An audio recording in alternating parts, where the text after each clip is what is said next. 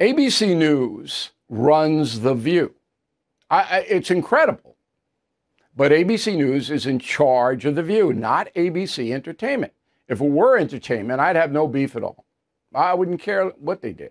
But with news, it's a little bit different. So the ladies on The View are all rooting for a criminal conviction for Donald Trump. They're rooting.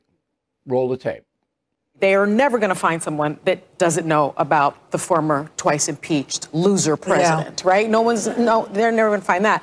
But what I did find also interesting about my Super Bowl is that um, the legal teams will be checking the jurors' social media profiles to see if they can assess the truthfulness and intention of what they said during voir dire, which is their questioning. And I think that's really, really important because if you start liking Trump's and you follow Trump stuff on social media, are you going to, are, can you be impartial? can you be?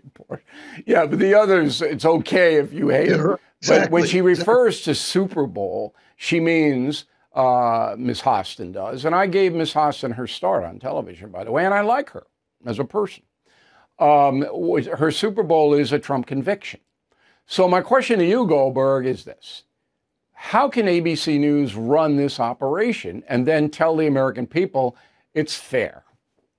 The, the I, I don't know, but the only thing I could conjecture from this is that it is a, a successful show in terms of daytime ratings.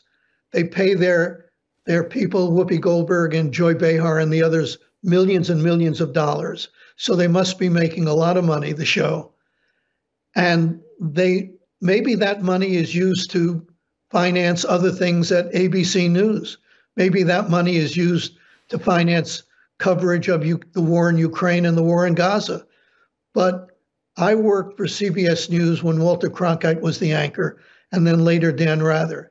And I can't imagine, and I don't think, well, I'll let you speak for yourself, Bill, but I can't imagine that CBS News allowing a show like that to be part of CBS News. It, it besmirches the operation.